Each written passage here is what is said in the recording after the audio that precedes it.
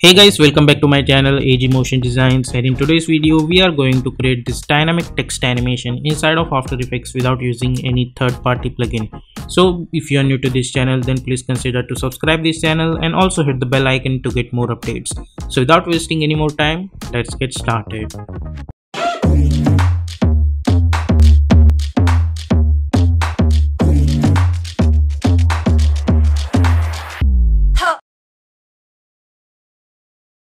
So here we are in adobe after effect as always let's create a new composition and i'll call it as text strip this time.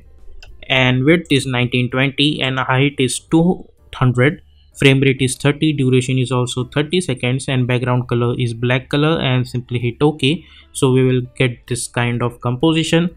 Then go to choose grid and guide option and hit on titles affection then i'm going to select this text tool and i'll type my first text. For the font i'm going to choose poppins font. And over here for the color i'm going to choose black color. And over here i'm going to choose stroke which is a white color. And stroke width i'm going to choose 4 pixels like this. And distance between the alphabet should be minus 50 like this. And we will type our first text. I'm going to type cool like this let's select this text. Let's decrease this distance let's say up to zero and decrease the font size a little bit like this.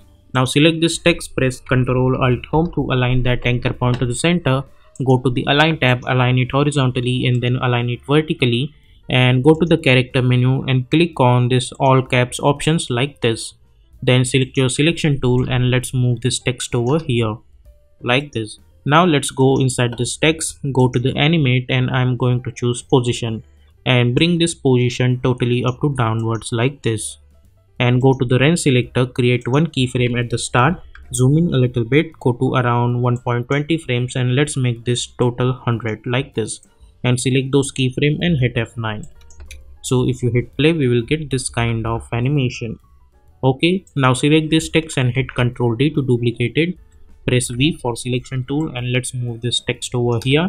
Hit ctrl T to select your text tool and type text which is text. Select this and let's move this over here like this.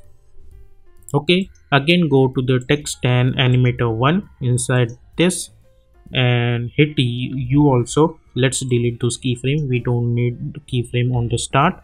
And let's go again inside this text and in position property i'm going to move this let's make this start value 0 initially and let's move this position value up to here like this create one keyframe at the end go over here and let's make this 0 okay select those keyframe and hit f9 now hit u so we can see both the keyframes. Select those keyframe and make sure to hit f9 again go to the graph editor. We will select this graph. By holding shift we will move this handle over here and this handle over here like this. Okay?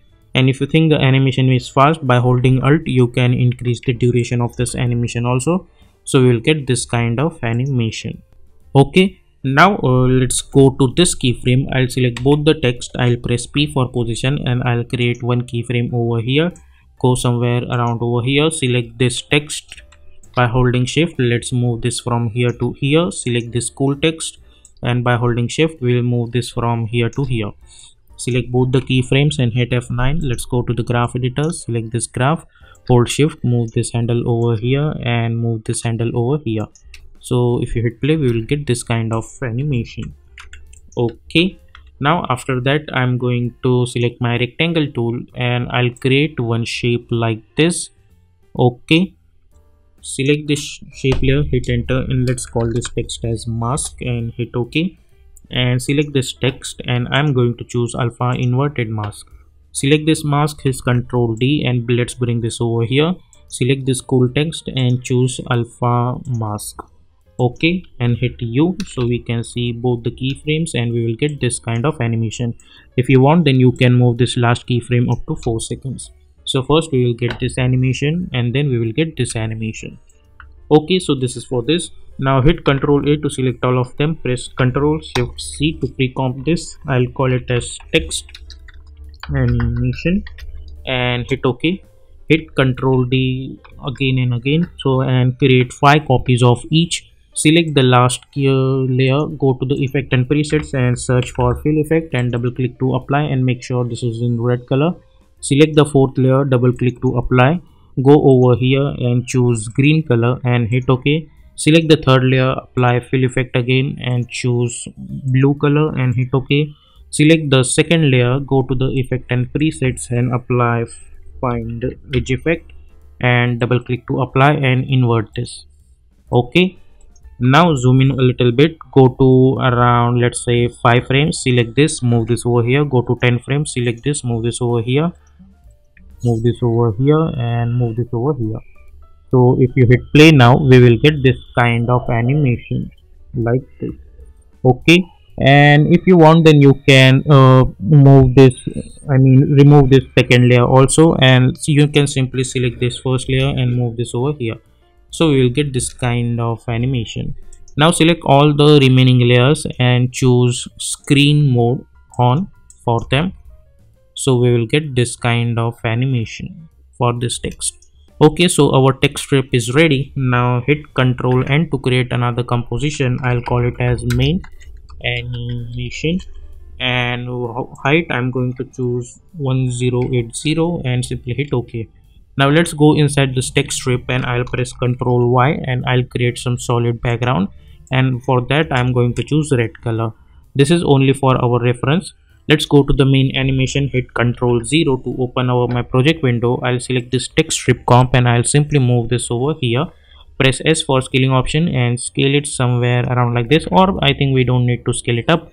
And simply hit ctrl d to duplicate it by holding control i am going to move this over here so it will automatically snap at the edge. Again hit ctrl d and let's move this over here. And like this. Now select this layer and hit ctrl d. Select this fourth layer and by holding control i'll snap this properly at the edge. Select this fourth layer hit ctrl d. Select this fifth layer and by holding control sorry uh, by holding control i'm gonna snap it at the edge now let's go inside this text strips and we will delete this. Solid. And if you hit play over here we will get this kind of animation over here.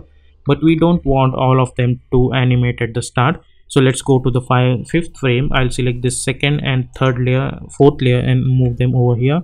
Go to 10 frames select all of the remaining layers and move this over here. So now if you hit play this animation we will get this kind of animation now select all of them and press ctrl shift c and i'll call it as final text animation and hit ok now press ctrl y to create one solid background and go to the effect and presets or instead of that let's select this and press ctrl shift c and move all attributes into the new composition and I'll call it as map and simply hit OK. Double click to open this composition. Select this layer, press Ctrl Shift Y to open the solid settings and I'm going to choose black color for this and hit OK and hit OK like this. Now select this rectangle and simply create this kind of rectangle over here and press Ctrl Alt Home go to the align tab align it horizontally and then align it vertically go to the effect and presets panel and apply gaussian blur effect on it so simply double click to apply and increase the blurriness to 700 okay?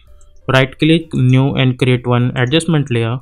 Go to the effect and presets panel and search for mosaic effect and simply double click to apply. So you will get this kind of lines. Go to the main animation and let's hide this map. Select this final animation comp and apply time displacement effect on it. Like this and i'm going to choose this map over here. So now if you hit play we will get this kind of animation for this text. Okay. And simply double click to open this select all of them and let's move them a little bit forward. And let's move this to up to 10 frames like this. Okay. Let's close all of this stuff and now if you see we will get this kind of animation. Okay. Now right click new and create one null object. Select all of them and make it a parent with this null one. Select this null one press p alt click on the stopwatch and apply wiggle and type 3 comma 3 so along with this animation we will get a little bit of wiggle animation also. Okay now after that press ctrl y to create one solid bg i'll call it as bg only. And let's move this over here. Go to the effect and presets panel and apply fractal noise effect on it. Increase that contrast too much uh, let's say up to 1400 and decrease the brightness of negative value like this. Okay? If you want increase the contrast to even 2000 also and decrease the brightness like this okay and alt click on this evolution tab and type time into let's say 500 so we will get this kind of thing over here for this background. Hit n over here like this. Okay now right click new and create one adjustment layer go to the effect and presets panel and search for turbulence displace effect and simply double click to apply. As you guys can see we will get this kind of weird looking text over here but size i'm going to choose 2 so as you guys can see we will get a little bit of displacement in small small displacement in this stuff over here like this.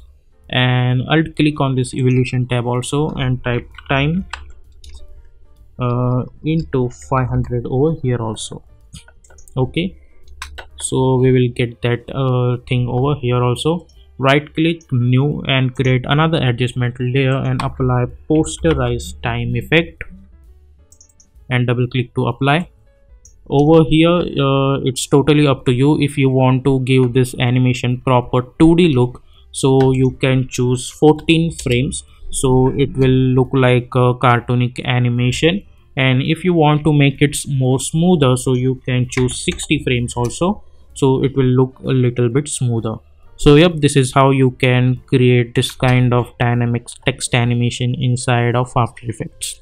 So I hope you guys have enjoyed this tutorial. And if you like this tutorial then please consider to subscribe this channel and also hit the bell icon to get more updates. And if you want to create some more interesting animations like this then check out these two videos. I'll see you in my next video. Until then stay tuned.